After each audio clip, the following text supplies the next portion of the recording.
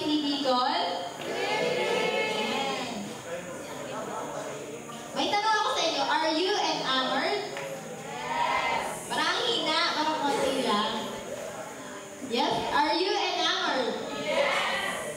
Yan. So, ganun kung, kung ating naranasan yun ay, paano, ano ang, dahil sa ating naranasan kanina, kamusta naman yung, kasi maaari, katu, maaari mo ba sa atin ay, pinananasan yung letter prayer. So, sa'yo personally, bilang sa, sa mga kabataan na rin, kamusta yung inyong karanasan? Kasi sabi nga ni Pastor Brian kanina, hindi lang siya prayer, hindi siya experience. So, ang tanong, pa, ano yung experience mo kanina habang nagkakaroon tayo ng united prayer? Experience kasama Panginoon. Blessed na kasama mo yung mga kapatid mo sa pananampalataya na sa prayer that you feel the Holy Spirit in you and in other people na lahat kayo sabay-sabay kayo na bless. And ang sarap nun sa feeling na pagkatapos, though mahaba, you don't feel the yung pagod ng luhod mo and you feel that it's worth it and worthy na yung paminsan-minsan makarinig tayo na ng ganong prayer na we are united in asking, in confessing, and in thanksgiving and praising the Lord. So, sana ganun din yung na-experience nyo. So, yun lang. So ngayong gabi, magkakaroon tayo ng another experience sa mapakinggan natin message. Pero before yun, we'll be having a two-part, magkakaroon tayo ng two-part na program ngayong gabi. Una ay magkakaroon tayo ng question and answer. Kasi alam ko sa inyo, maaaring meron kayo mga katanungan dun sa inyo mga sa breakout sessions na ating ginawa. So inanyahan ko kayo na prepare nyo na yung mga tanong. Then tatawagan natin yung ating mga speakers sa breakout sessions at magkakaroon tayo ng, ng question answer with our speakers. So, ah, ang gagawin natin, kung kayo yung magsalita, just raise your hand, then come forward, then you would ask the, tatanungin niyo yung question, and then address the speaker, then they will answer the question. So now, invite na natin yung ating mga speaker, dito sa kasama natin sa harap. So una,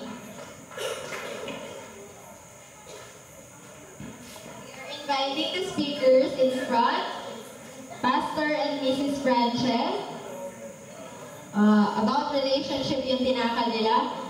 Pastor Brian Tolentino, Spirit of Prophecy, Brother Robel Pablo, Music, Ma'am Mona Tagle, Modesty, mm. Brother Faith Bayona, Movies and Games, Brother Ayas Kabaka, Bible Study Giv- Giving, and Brother Ronald Robin, Prayer. So, iniimbita namin yung, aming- yung ating mga speakers. Nandito po tayo sa harap. Kasama po ng ating po mga kabataan at meron po silang mga katanungan. So, we're inviting, we're inviting the speakers to please come here in front for our question and answer. So, thank you so much. So, before we start, shall we, shall we start with this prayer, with the prayer? Shall we pray? Father, we would like to Praise you for continually giving us an experience with you throughout this conference. We ask that as you have the question answer, we continually inspire the speakers, continually give us, sustain the, the hunger that we have with you. And as we, as we ask questions, may we continually, may this contribute us, for us to know you more. Thank you so much, Father, for the assurance that you would fill this place with your spirit. For we ask this in Jesus' name. Amen. So we'll now start our question answer. Mhm. So, maybe you, ma- makatanggap kayo ng, ng papers, then you could write, kung maya kayo, you could write the, the, questions sa paper. Then, i-forward nyo lang sa amin. So ngayon, meron ba kayong mga katanungan? So, first, first, tatanong. First question, to be addressed to our speakers. First question, anyone?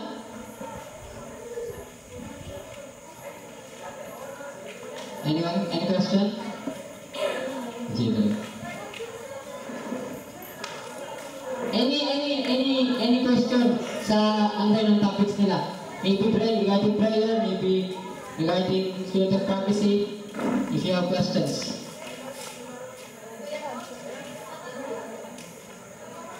Sige.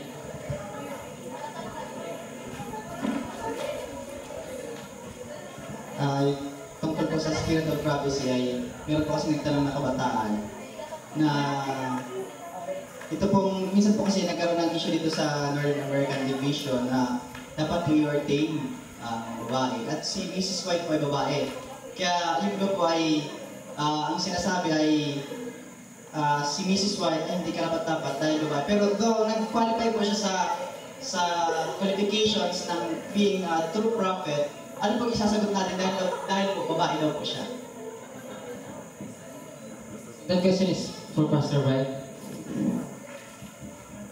Uh, Ellen White was not ordained as a minister, although she was ordained by God as a prophet, working as a minister actually, but she was not actually ordained by man's hand. Hindi siya uh, pinutungan ng kamay.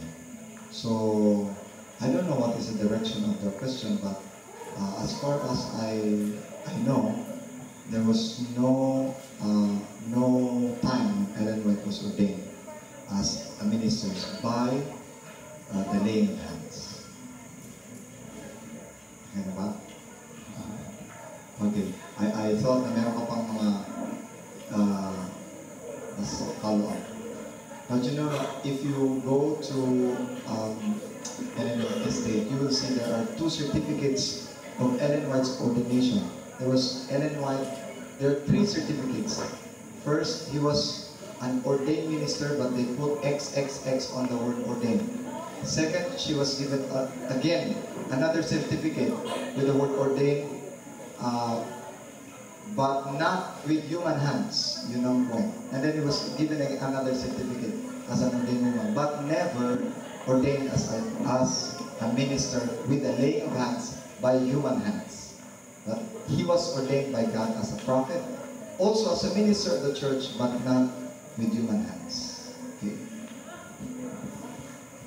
Thank you, Pastor. So, meron tayong katanungan dito. For, I think this is for Kirana. Kirana, here's the question. Is it okay to pray even... Is it okay to pray even though you're lying, you're lying down in bed? So is it okay to pray even, even though you're lying? I'd like to know who that is that asked that question. Wonder how lazy you are. When you study the Bible, you find out there are instances, and once I had to have a very long conversation with a sister who was firmly pressing that we have to kneel in our churches each time there is prayer. She said, brother, no, it's not right. Whenever there is prayer, we have to kneel. We are disrespecting God when we're not kneeling. And I had to go through a lot of biblical material. We went from story after story, passage after passage to show. In the Bible, there was a time when everybody was standing and praying. There was a time everybody was sitting and praying. There was a time everybody was kneeling and praying. There was a time everybody was lying down and praying. Peter was drowning and he was praying. Jonah was in the fish's belly and he was praying. Try that. So some people find out what is the right, am I really doing this right or not? And as one scholar of the church says, what really matters is not the posture of your body, but the posture of your heart. Many times your knees are kneeling, but your heart is not kneeling. Many times you're lying, and by the way, every posture has a meaning to it. In the Bible, people stood up and prayed in reverence to God. They would kneel in humility and submission because that was the practice each time you went in a king's court. In respect to the king, the subject would kneel and press his petition before the one, thereby ascribing to him and letting him know that you are a higher authority than I am. People would lie down prostrate. You, you read the story of Jesus. While there were times when he would kneel and pray in the Garden of Gethsemane, he fell on his face. He was lying prostrate. And there are times, sometimes you just don't feel worthy enough. You just don't feel, Lord, I want to talk to you, but I don't even feel worthy as if I'm respecting you enough by kneeling. And many times we find ourselves prostrate. Many times I come into my room and I'm like, Lord, what you've done today, I, just can't sit or stand and talk to you. I, I recognize myself as dust, and there I lay prostrate before you and say, Lord, you are good and I am not. So, friends, I, I simply say that the posture you need to know, that also does not mean, okay, so that means I can just be doing whatever I want and just be praying. So it's, uh, it's, it's many a times it is just you yourself in conversation with God, whether driving or sitting or standing or working, but again, your heart has to be connected in the right place. Your heart has to be in the right posture with God. And as you come to Him, you will find spiritual strength. I say this just before I sit. Just pray. Just pray. People, many people have heard about the posture. I'm just, I'm just glad when I hear people are actually praying. And I think that's what really matters in the, in the times that we live in. That you find the way you know God is respected the most. You talk to God, and when you spend more time to God, you yourself find out what do I need to do, where should I be, in what posture should I be, and God will be glorified and not myself. So that's what Thank you so much, Kuya Ronald. So we have nantayan sunod na tanong dito. This is for Mrs. Ma'am. Kailan, kailan, kailan malalaman kung mali na ang magulang at anong gagawin? Kailan mo malalaman na mali na ang magulang at anong gagawin? Wait. Okay, good evening. Di sabi dun sa text na binasa natin kanina, hindi yung ah, hindi yung unang text na pinabasa ko sa inyo na parents obey your children in the Lord for this is right. Kasi wrong yun. Yung tunay na nasa version ng Bible is children obey your parents in the Lord. Di ba meron dun ng word na in the Lord. So kailan natin malalaman na tama ang ating parents? it's obvious if it is according to God's will. Kung ano yung will of God, tapos naka-align din yung will ng ng parents mo, therefore, He is right. And if it's the other way around, mali na siya. And, isa yung, isa dun sa aking hinighlight kanina, na hindi nangangahulugan na mali ang ating magulang, hindi na natin respetuhin. It is the position of parenthood that we respect and not the personality. Oftentimes, our parents are in the wrong position. Kung ano man yung mga issues na pinag-uusapan ninyo. But you have no right to disrespect them because they are your parents. Thank. Good evening. I wanted to answer that question. I just wanted to add something with another question. How do you know they are wrong? How do you know your parents are wrong? Or an elderly person who might be telling you that this person is not the right person? Because we would want that they are wrong. You, you get what I'm saying? And so we want them to be wrong. So when they tell us this is not the person, you're asking, how do we know if they are right or wrong? Because you want them to be wrong because you want to stay with that person. And so you will know depending on your connection with God, with Christ. Um, you remember Abraham, right? He was about to die, and Isaac needed someone. You know what he did, right? He asked his servant to go look for someone. You know what Abraham said? He said, The angel of the Lord will go with you, will go before you. And so as you search, and if you want to know, uh, ask God, and God will, will show you. That's what I wanted to Yes. Ganun ba? So, meron bang mga tanong? Viewers? You still have question? Please come. Please come forward.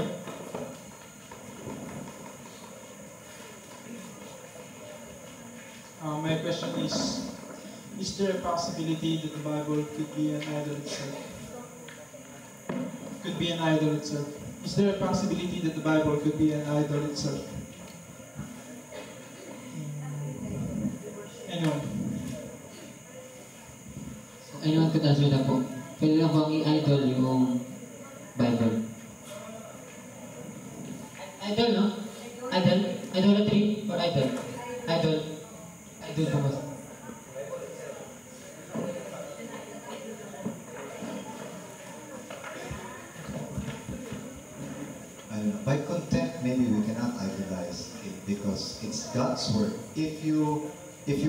Worship what God says, it's not idolatry. It's just plain worship of the word for God.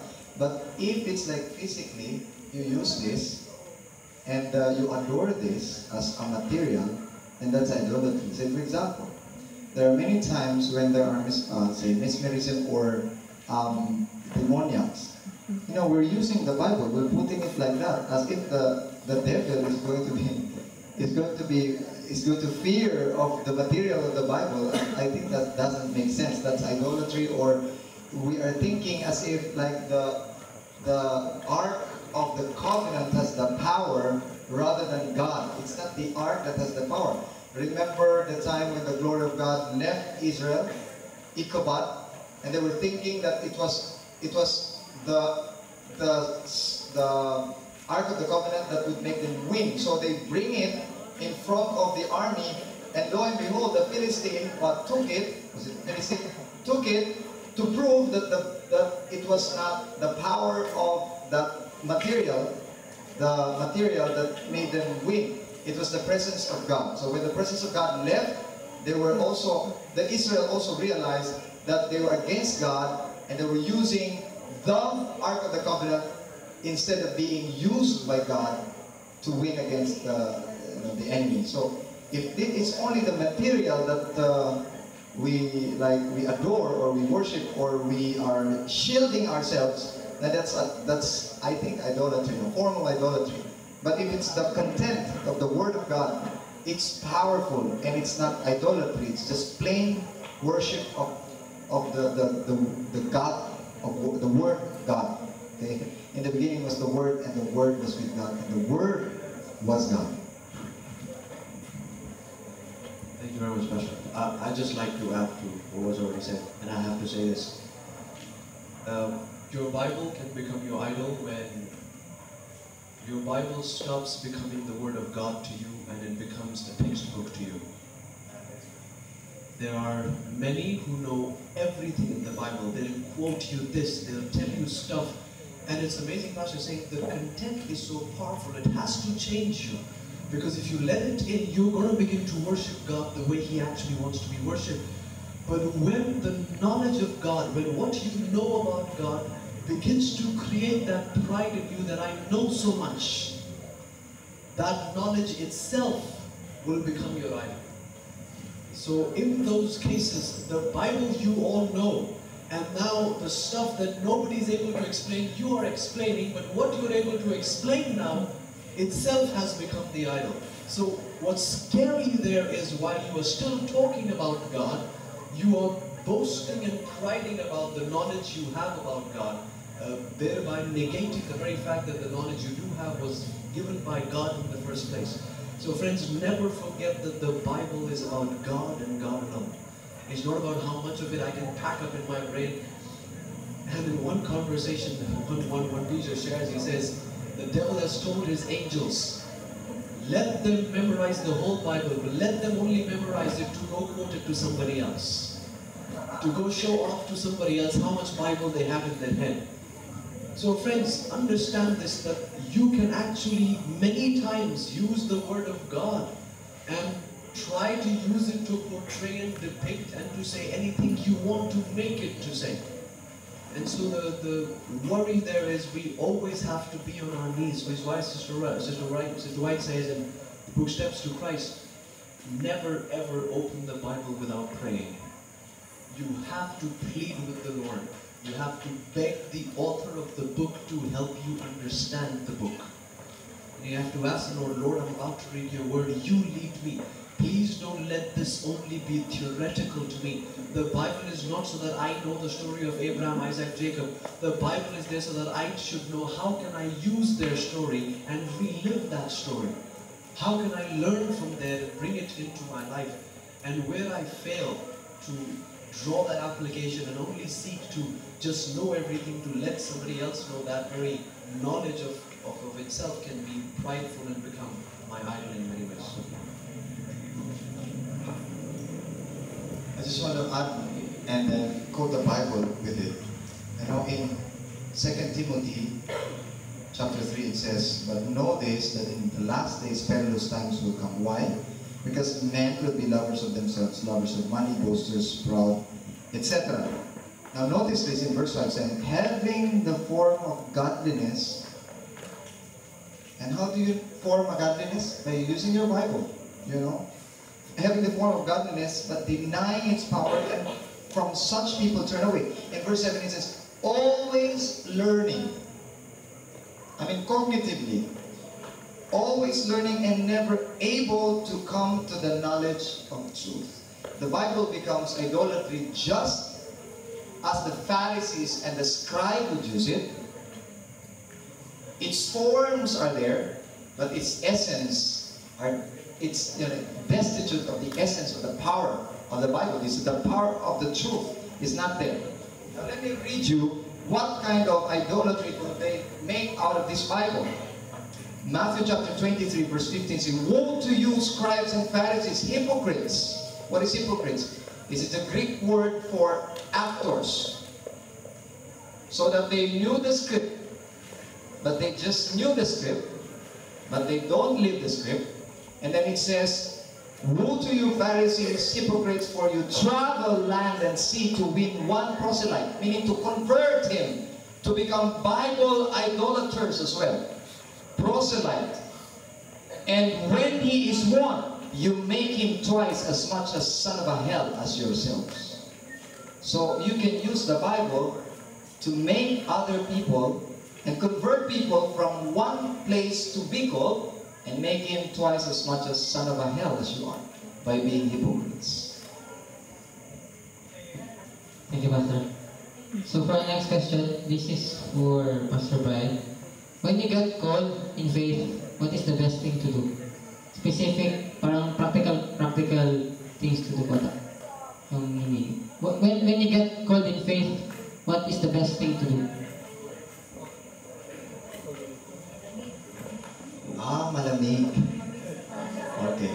Akala ko tinawagan sa kanilang Of course, the Bible says you should ne- neither be hot nor cold. Uh, you should be either hot or cold, but not lukewarm. Now, it's better that you are cold. Why? Because if you know that you are cold, you need it to be hot. You need to know if you are cold. If you are cold, you need to know that you're cold so that you can do something. Now, what is cold? Now, just let me uh, use some scientific. Cold is what? Static energy. While hot means flowing or moving. So you need to be moving. So how do you move yourself? Let me open it from the scripture. In uh, Psalm chapter 190, verse 50 it says, This is my comfort in my affliction, for your word has given me life. What about other translation? You know this is what I like. Quickens. Quickens. Your word quickens means give you life, make you move. And then, of course, uh, 2 Timothy chapter 3, um, 2 Timothy chapter 3 verse 16 says that the, all the Bible is inspired. The word inspired means has the power to move for correction, for reproof, for instruction. Meaning to make you move, to motivate you to do something. Now, how, what do you do with your faith? The problem with faith is when you're static. Faith should not end in, in faith. According to 2 Peter chapter 1 verse 5,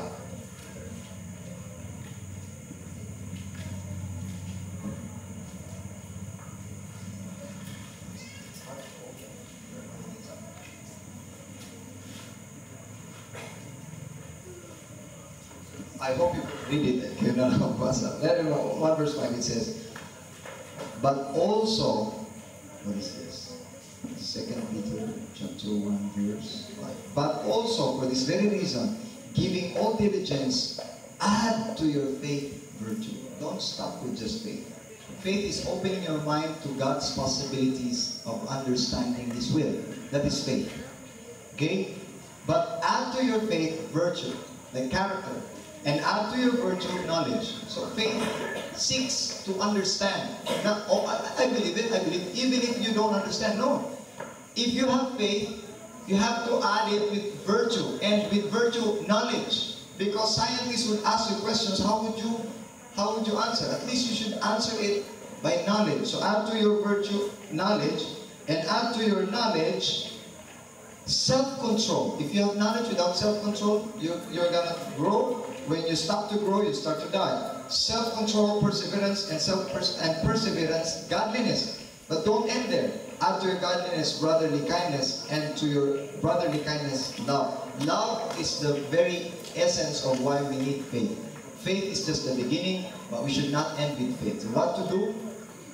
Add. And how do you add it? It's the scriptures that gives you all of this virtue, all of this knowledge, all of this wisdom.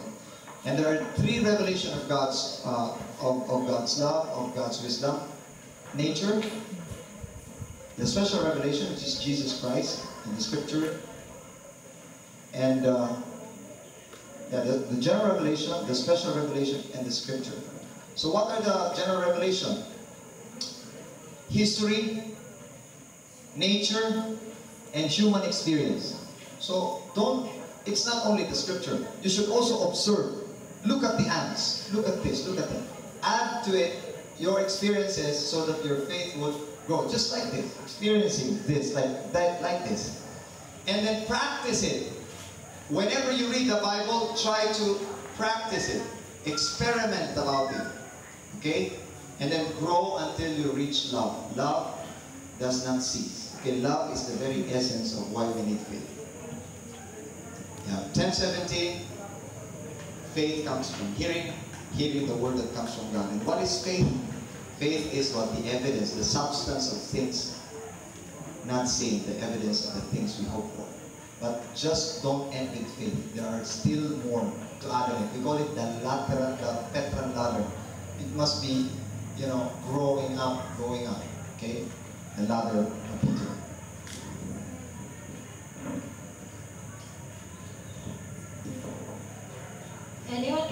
Answer po? May kaibigan po kasi kaming katoliko na interested sa religion natin. Nagsabi po siya na mag-share kami tungkol sa religion natin. So, ano po bang magandang unang i-share sa kanya para mas madali po niyang maintindihan? So, Wiki, I ask, I think the first thing is the love of God. I remember once I was going to Cebu for a week of prayer, and I met a teacher in the airport. I think they had a teachers' conference in Cebu, and he asked me, where are you going? I told him, I'm going to Cebu. What are you going to do there? I told him evangelism. And he didn't understand, so I told him worship, and he, he understood. And then he asked me, uh, what church, what denomination? I told him I'm SDA. And you know what he told me immediately? He said, oh, you don't eat pork. You go to church on the Sabbath. Um, I said, wow, he knows all of that. And he left. And then after a while, I began to think, and I said, that's what people know about us. We teach the Sabbath without teaching about Christ. We are leading people to the Sabbath, and we're not leading people to Christ. So I would say, shortly, begin with the love of God, begin with Jesus, and even before you do that, your lifestyle, the way you live, you can lead people to Christ without opening your mouth.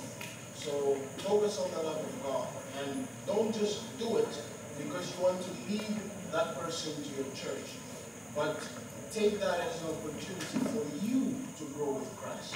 That is the objective, your relationship with Christ, and out of your relationship with Christ, others will be blessed. So focus on that. Thank you, Kuya. So we have here a question. Ay, sino pong tanong? Kahit sino pa yung. Hindi po ba alam natin ang Diyos ay mapagpatawad?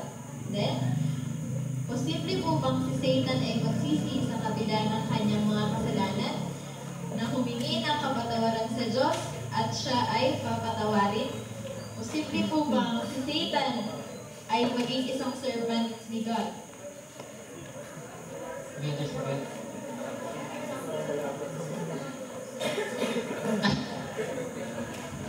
Let me just tell the question and then let me answer it if you have answered. He said, Is it possible for Satan to repent and be forgiven and become the servant of God?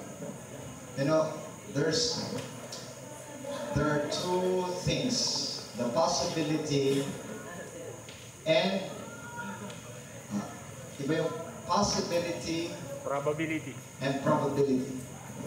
The possibility and probability. Thank you, sir.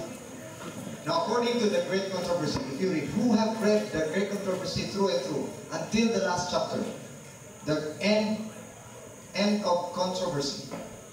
If you would read the end of controversy, Satan was given a chance to repent, and he recognized God as just, and he bowed down, just as Revelation chapter 4 and 5 would say. He bowed down, and all the creatures bowed down with him. So, it, actually, all the great controversy, all the plan of redemption seeks to save Satan and all his angels. That was the object of, of God's revelation of his love. Seeks to, to, to save Satan and his angels. So Satan bowed down and recognized he was forced by his own mouth. He was, but his character was fixed. Pride, covetousness, and all of this has already, you know, stick within him. So that after bowing down, he suddenly realized the future. In the future time of eternity, he would be recognizing God as supreme.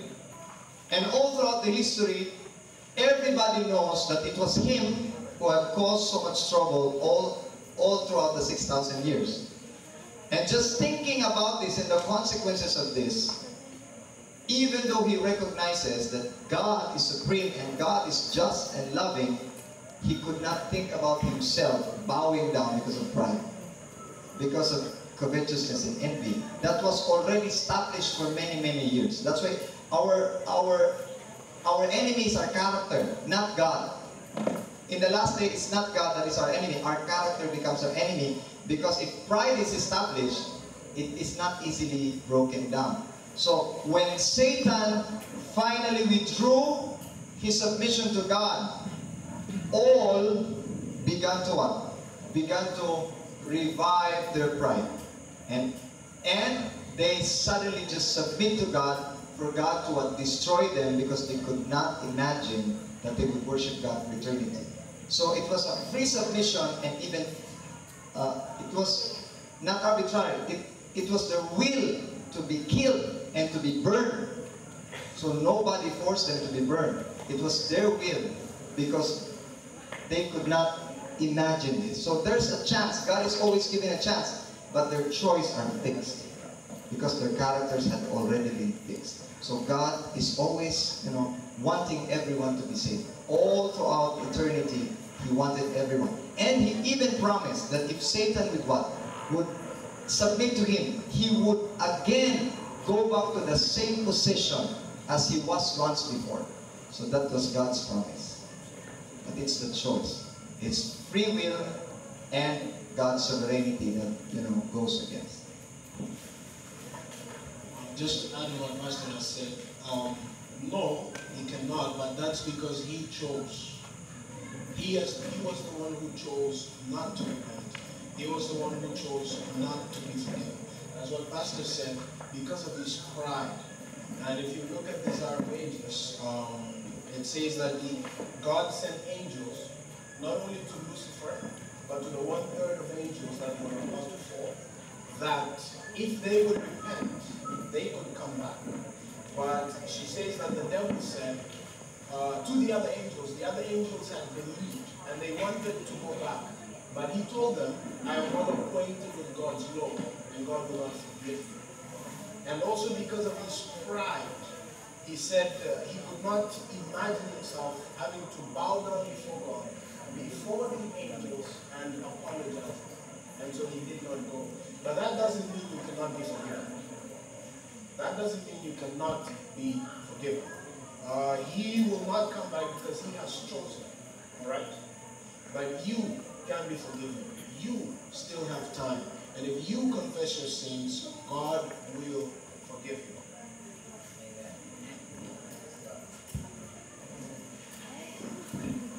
Thank you so much. So, time? So maybe, but there's still a lot of questions. Maybe you could ask them, if it is possible, you um, you could ask them personally if you wanted to ask questions. If there the time. So now we would be, pabisin na po tayo sa kagarangan for promotion. Thank you so much.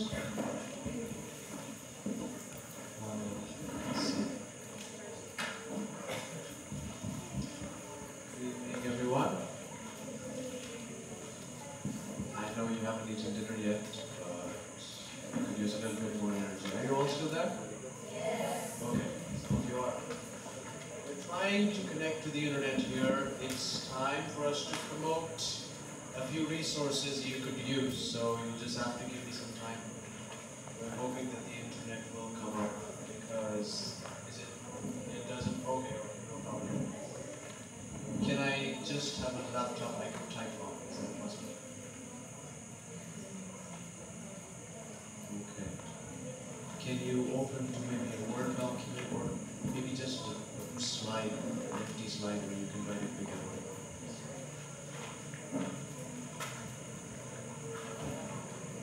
All right. Uh, what we're trying to do tonight is just try to promote a lot of resources that are out there that are online that you all can have direct access to. They are free, they're available. If you can get yourself in connection with internet, there are a lot of things that can help you grow in the study of the Word. There are many materials you can go through. So I ask you right now to take out your papers and your pens, you have your notebooks, you can start taking down notes. I'm going to give you a list of resources that are freely accessible. You can use them anytime you like. They're online and you can use them for your own benefit. So let's go. I'm going to give you one of the things I enjoy using the most.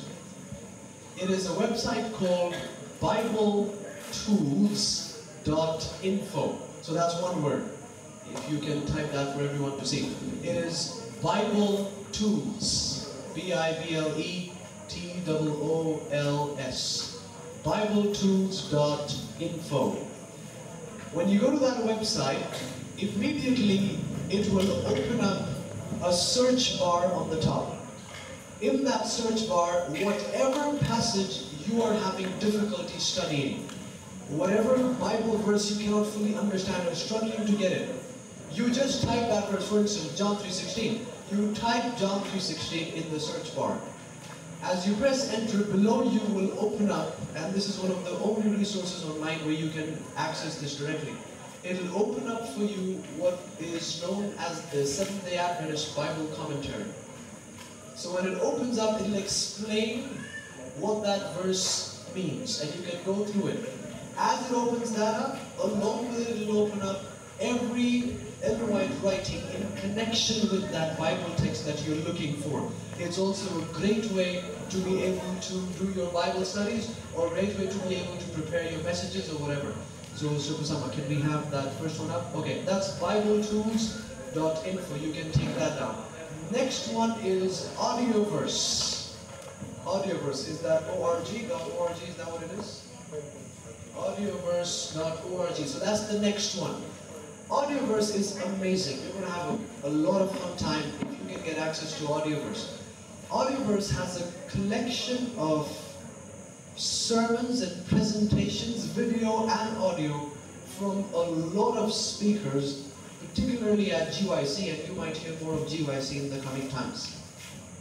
So you have all these great speakers here, Pastor Doug Batchelor, Pastor Mark Finley, and uh, now much known preachers like Pastor Dwayne Lemon, and you have Pastor Jeremiah Davis and many others. You have a lot of these presentations on Audioverse. You, all you have to do is you go to Audioverse, again in the search bar, you just type whatever topic you want to know more about. So if it's faith, somebody was talking about faith, you type in that search bar faith or growing in faith, type something like that. And it'll bring out a whole huge list of sermons. Trust me, you might not even have enough time to be able to go through all the material because there's just so much there. So you can download these sermons, they come in MP3, they have videos, and you can download all of them and be able to access them freely whenever you, you feel like. So that's Audioverse. I also want to give to you, those of you who want to, who are reaching out to friends who are not of the same faith, like somebody talked about reaching out to a Catholic friend or whoever, an excellent resource is Amazing Facts. Have you heard of it? Doug Batchelor is the president. AmazingFacts.org. Uh, amazing Facts. I really want you to tap this resource. It's very, very powerful. AmazingFacts.org. Go to their website. They have a section called Bible Study Guides. And I tell you, I've personally gone through those Bible study guides. They are going to be a huge source of help to you in your own personal study, particularly on the fundamental beliefs of the church. It'll take you through different doctrines in the Bible, and it's a beautiful way. All you, all it is is it's a question and answer. It's a question and answer. So you can be sharing this. Just read the question, ask that question to your friend, and you give an answer solely based on the Bible. So I put this out to you, especially when you're talking to friends who are not of the Advent faith. You have a hard time getting primarily across the idea of Sister White as a prophet. So you don't start, okay, the answer to this question, let's go to great controversy. You cannot do that.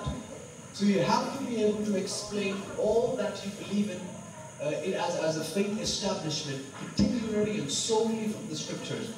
Amazing Facts is a great resource. The Bible study guides give you a question and answer, and each answer is supported with a Bible verse. So these are just a few resources that we have out there that you could use. So Bible tools, if you want to take a look at a, at a deeper understanding of a passage, you have audioverse.org, you have Amazing Facts.